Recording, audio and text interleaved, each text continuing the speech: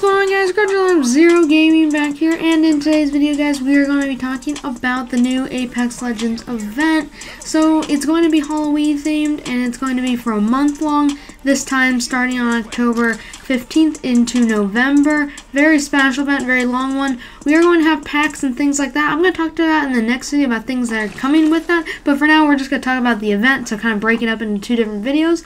With the event, guys, Kings Canyon is coming back, guys. So the night uh, map that was mined a few months ago actually is now coming into play.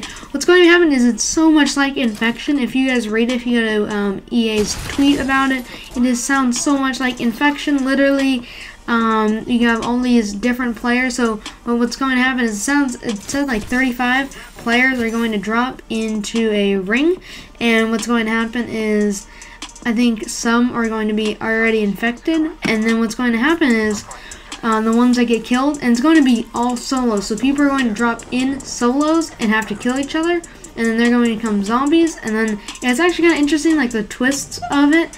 What happens is once you get killed, you become a zombie, and you literally have no weapons, but you have increased melee damage. So I think that kind of means like one or two hit melee damage, and then at the very end, two survivors, or actually, know, um, all the survivors, so about like 10 of them. So once it hits to 10, they'll have to work together to get to a dropship, and then once they're all in the dropship, they kind of like won the round, which is going to be interesting. Um, it's actually really interesting how this actually sounds exactly like Infection, like if you get killed, now you're a zombie, and now you're on the opposite side. Now zombies can't kill each other in this, so that's kind of like that. So now we know that there's a new game mode. King's Canyon is coming back. So that's one of the things. So let's start with the map. So the map is going to be dimly lit, and apparently there's going to be a new like announcer um, that's going to have. It's kind of going to be like a haunted house with like grimly discoveries. So I don't know how that's going to play in. So it sounds like some kind of lore is going like some kind of like weird lore event is going to somehow play into it.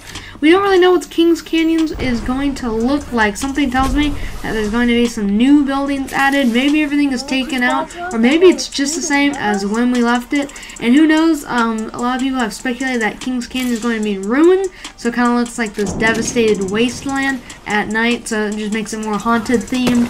So that's what people have been speculating on this detail. Anyway, moving on with that into the real gameplay. As I said, solos mode. It's a different kind of solos mode is coming back. So what's going to happen is going to be a free-for-all for people, turning other people into zombies and also people fighting zombies. Um, I cannot see any way of being of people teaming up, uh, you know, of course. So we're definitely going to see a lot of that in the future. Now, moving, like, just closing out with all this, we know that you know, EA is very special about um, returning some things. So uh, this is actually isn't solos mode like we wanted, but it has came back in a different way. So I'm definitely glad to see how that came out. Hope you guys are excited for the new game mode. It's so interesting. I can't wait to see what happens with it. I'm gonna talk about all the skins and all the new like lifeline um, new things that are coming, especially her and you know the new kunai um, knife. And yeah, guys, that's about it. Can't think of the word for that right now. But uh, yeah, see you guys all later. And uh, yeah, hopefully I see you guys in the next video. Bye, guys.